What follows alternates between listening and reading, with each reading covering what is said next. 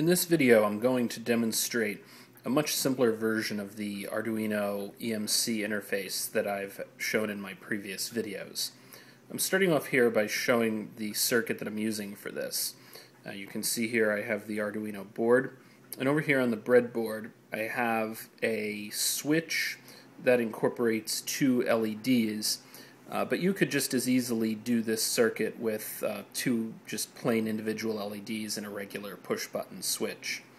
Over here we have the switch side wired up with a uh, pull down uh, resistor and over here on this side we have two um, resistors uh, hooked up to the Arduino and uh, the common side of the LEDs is hooked up to the positive rail.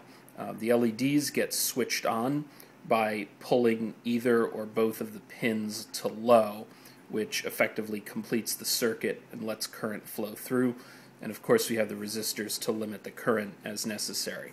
You can do this, like I said, with just regular plain old LEDs. Just make sure that you get the polarity in the correct direction.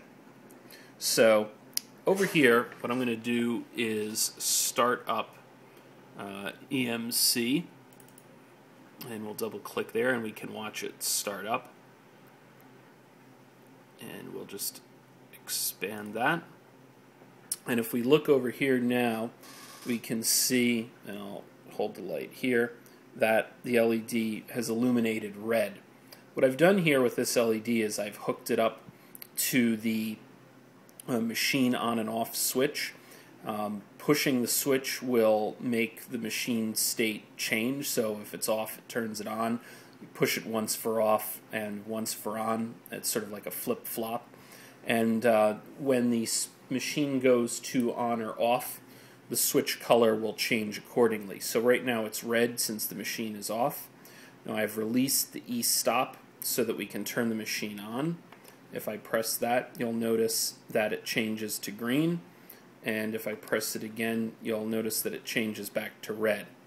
Let me try turning the lights out here and see if we can get that color a little bit better. So it's red and the machine is on and the machine is off. I'll also change it here by clicking on the UI in Axis and we can see that that responds to changes coming in from there as well. And if you go to my blog at ckcnc.wordpress.com, uh, you'll find a more thorough uh, description as well as uh, the sample code to do this on your own. Good luck.